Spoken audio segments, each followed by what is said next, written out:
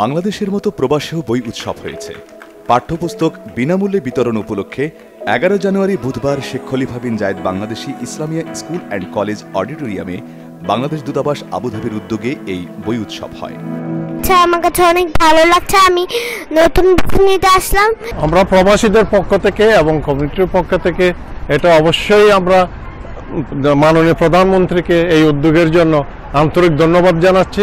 একসময় আমরা ছোটকালে এই নতুন বই পাওয়ার জন্য এবং তার গন্ধ শুকার জন্য আমরা উদ্গ্রীব থাকতাম। নতুন বছরে বাচ্চাদের হাতে নতুন বই এসে পৌঁছেছে। সরকারের পক্ষ থেকে বিনামূল্যে আমরা বাচ্চাদের বাচ্চারা সবাই বই পেয়েছে। এই অনুভূতিটা আমার মনে হচ্ছে আমি আমার সেই শৈশব জীবনে ফিরে এসেছি। নতুন বই পাওয়া নতুন বইয়ের একটা গন্ধ। স্কুলের ভারপ্রাপ্ত অধ্যক্ষ কিরণ আক্তারের সভাপতিত্বে ও অধ্যাপক আবু তাহের এবং শিক্ষিকা ফারলুনা হকের যৌথ পরিচালনায় অনুষ্ঠিত উৎসবে প্রধান অতিথি ছিলেন বাংলাদেশ দূতাবাসের রাষ্ট্রদূত মোহাম্মদ আবু জাফর।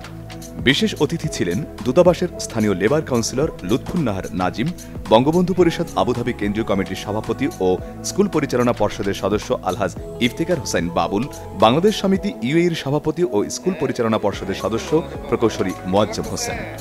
বছরের প্রথম দিনেই ছাত্রছাত্রীদের হাতে বই তুলে দেওয়া হবে। তার কমিটমেন্ট এবং তার দৃঢ়তা। আজকে আমরা বিদেশে মাটিতে বসেও সেই উৎসবটি উপভোগ করছি। স্কুলের ছাত্র মোহাম্মদ নুরুল ইসলামের কোরআন তেলাওয়াতের মাধ্যমে শুরু হয় বই উৎসব।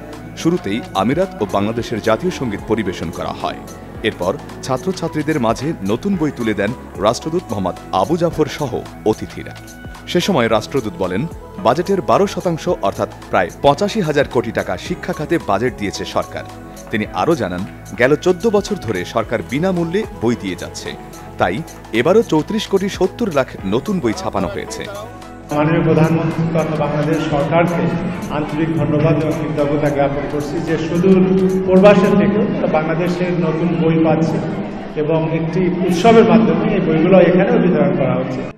এ সময় স্কুল পরিচালনা কমিটির এবং প্রবাসীদের পক্ষ থেকে প্রধানমন্ত্রী শেখ হাসিনাকে ধন্যবাদ জানান কমিউনিটি নেতৃবৃন্দরা।